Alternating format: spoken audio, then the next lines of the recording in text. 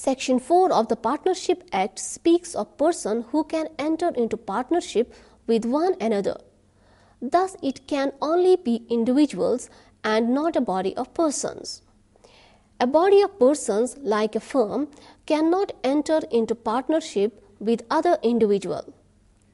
While examining the scheme of the Partnership Act and the English law on the subject, the definition given to person by the General Clauses Act 1897 cannot be extended to the Partnership Act.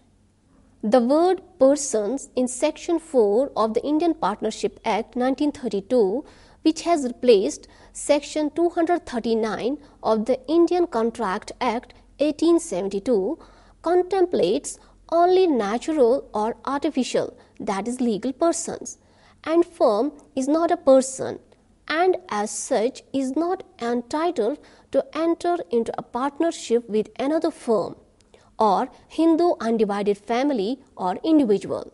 Partners are, for the purposes of the Partnership Act, called collectively a firm, but the firm is not a corporate body.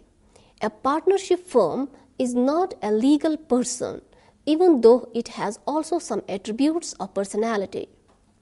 In the case of Commissioner Income Tax versus Chithambaram Pillai, it was held that in income tax law, a partnership firm is a unit of assessment by special provisions, but it is not a full person.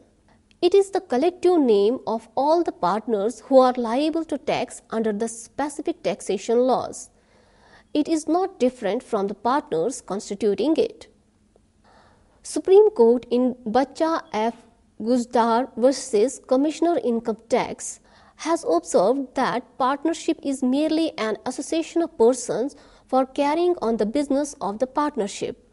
And in law, the firm name is a compendious method of describing the partners, while in the case of a company, it stands as a separate juristic entity distinct from its shareholders.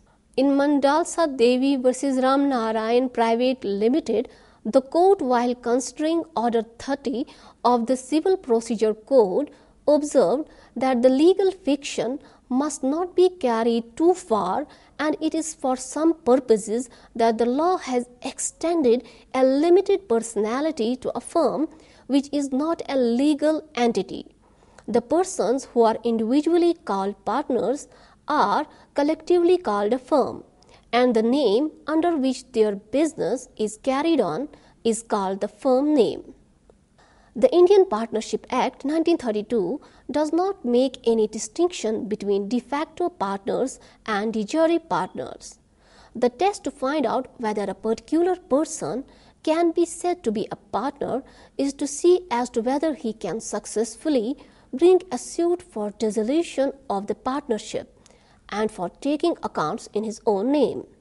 If he can, he is a partner. It is well settled that if the manager of a joint family enters into partnership with another firm or with any other individual, the whole family does not become a partner in that partnership.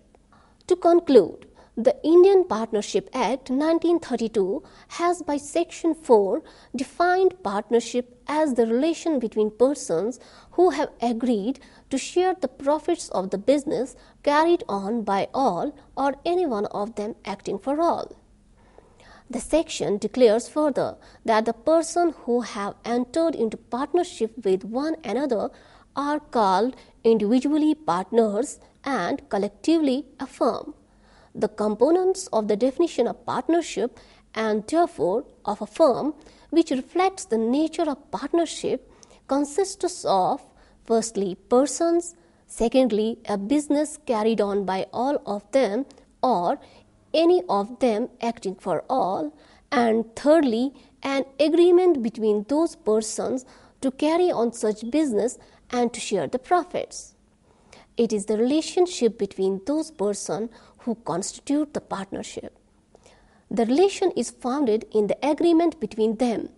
The foundation of the partnership and therefore of a firm is a partnership agreement.